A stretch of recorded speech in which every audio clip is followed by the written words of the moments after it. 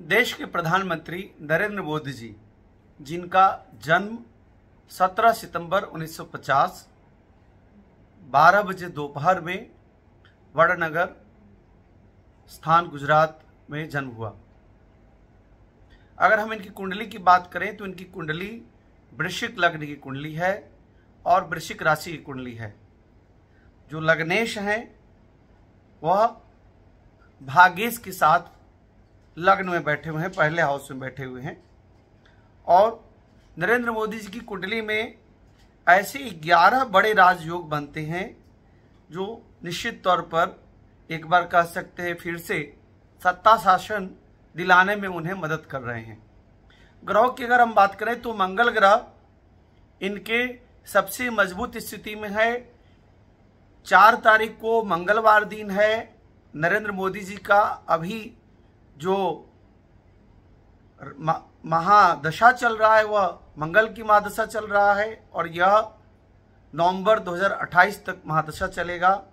अगर इनकी हम कुंडली में देखें तो वोशी योग, नीचभंग राजयोग गजकेसरी योग, धन योग, पराशरी राजयोग रूचक पंच महापुरुष राजयोग यह सबसे महत्वपूर्ण है। रूचक पंच महापुरुष राजयोग इसमें व्यक्ति अपने जीवन की शुरुआत अगर राजनीति में करता है तो जीवन प्रयत्न उसे सफलता मिलते रहती है।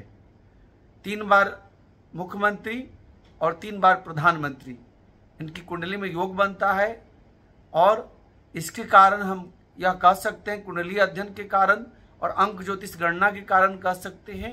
नरेंद्र मोदी जी का मूल अंक सत्रह है, जिसका स्वामी जो ग्रह है वह शनि हुए और सत्रह का मूल अंक आठ हुआ और चार तारीख को चार जून को रिज़ल्ट आ रहा है। चार जून जो मूल अंक है उसका स्वामी राहु हुआ।